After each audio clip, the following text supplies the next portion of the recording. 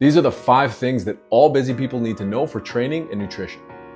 Number one, get your training out of the way in the morning. To me, this is unquestionably the most important strategy because you only have so much bandwidth. And the fact is that if you don't get your training done in the morning, it will be the first thing that goes by the wayside after you're done work. It could be a half an hour jog or a 20 minute lifting session. It doesn't matter. Get it done before you go to work. Number two, set your sleep schedule and adhere to it always.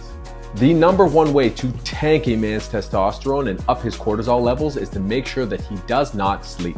And if your sleep schedule is off even a little bit, it can tank your performance and have deleterious effects on your health. Eight hours a night, non-negotiable. Number three, just like mama used to tell you, eat three squares a day. Make sure that these are spaced out throughout the course of the day, breakfast, lunch, and dinner, and make sure that every single one of them is high protein.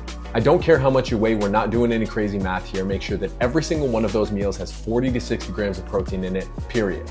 Your choice of carb needs to keep you full for long periods of time oats, brown rice, wild rice, and potatoes. Those are your staples, and one or a combination of those go in every meal. As far as fat is concerned, we're gonna try to keep it to a minimum. Sources like nuts, avocado, olive oil, and butter are all great options. Just remember that things that are fatty are very high in calorie, and so keep them to a minimum. Number four, drink a protein shake. Throw some berries, some Greek yogurt, some apples, some vegetables in there. Make it dense, make it delicious. Just make sure that you get it in to meet your protein goals. And number five, give yourself a break, man. You're busy and you're busy for a reason. Training isn't everything, and every once in a while you want to go out and have a beer. Have a beer. Just don't munch on nachos at the exact same time. Cut yourself some slack and don't try to do it all at once because you'll just have a poor relationship with training and nutrition.